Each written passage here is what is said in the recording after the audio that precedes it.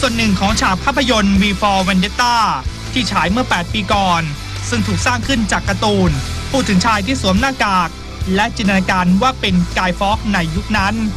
พยายามปลดปล่อยประชาชนจากการกดขี่ของอังกฤษ ที่ปกครองด้วยระบบกษัตริย์ ซึ่งเป็นเผด็จการ ก่อนเป็นที่มาของการนำหน้ากากขาว ไปสวมใส่เป็นสัญลักษณ์ การเรียกร้องต่อต้านระบบเผด็จการ เหตุผลที่คนทั่วโลกเรียกหน้ากากขาวเป็นกายฟอก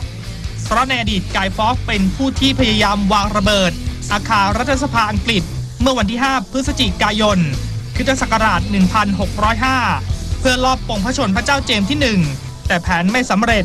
ก่อนถูกจับได้ในอุโมงค์ใต้รัฐสภา พร้อมดินระเบิดถึง 36 ถัง และถูกตัดสินประหารชีวิต ต่อมาในทุกวันที่ 5 พฤศจิกายน ชาวอังกฤษจะจัดงานรำลึกถึงเหตุการณ์ที่เรียกว่ากบฏดินปืน จากการชื่นชม ว่าฟอกเป็นผู้ที่จะไปรัฐสภา เพื่อจงใจวางระเบิด โดยหวังเปลี่ยนแปลงการเมืองให้ดีขึ้นหากเลี้ยวหลังกลับมาดูการนำสัญลักษณ์กายฟอกมาใช้เป็นเครื่องมือต่อต้านคู่แข่ง บนโลกไซเบอร์ในขณะนี้ของไทย จนเกิดการตอบโต้กันถึงความเหมาะสม โดยเฉพาะสิ่งที่กายฟอกพยายามกระทำในอดีต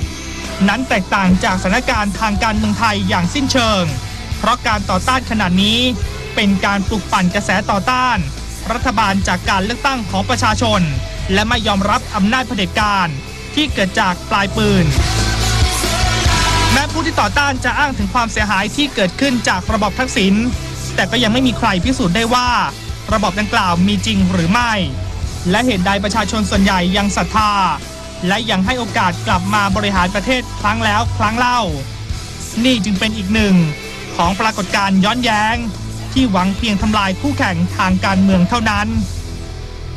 จตุพร สุวรรณรัตน์ NBT New Focus